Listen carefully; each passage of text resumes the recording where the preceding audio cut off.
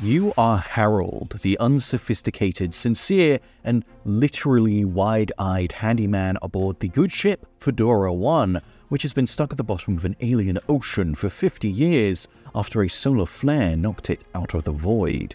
Harold is a dreamer and an optimist, the kid at the back of the class, staring out the window, always willing to help the rest of the ship's citizens with problems both technical and emotional, an open and honest soul who people naturally confide in, and they do regularly. The game is strictly a narrative affair. 85% of your playtime is spent walking between conversations, and most of those conversations consist of one character or another unloading their burdens onto poor Harold's shoulders. On and on it goes as you, the player, guide Harold between chats in which the Fedora One's many quirky inhabitants choose to make their neuroses the plumber's problem. It's not without charm. Slow Bros clearly has a great deal of affection for its characters. Combine that with the game's unique style of presentation, the game has an impressive handmade claymation-esque art style that dovetails nicely with its deliberately school play-like delivery, and you have a recipe to pique my curiosity, if not my outright investment.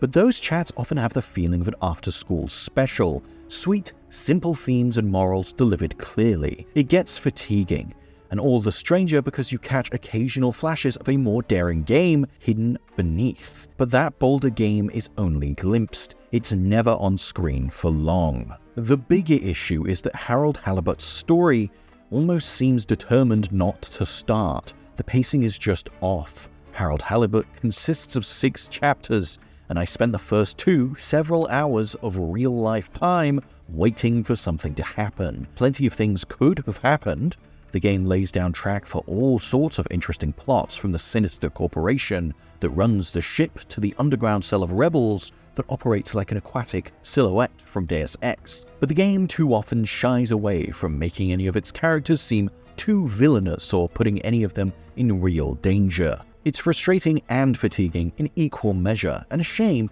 because there are things to like here.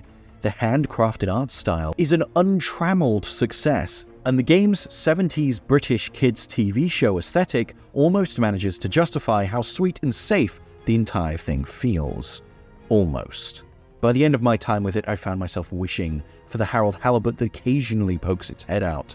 The one that broke into West German jazz apropos of absolutely nothing, that made genuinely funny jokes about politics and philosophy, and that was in general much more willing to linger in those strange asides. Instead, it spends most of its time lingering in conversations that eventually wore out their welcome and in a plot determined to play it safe.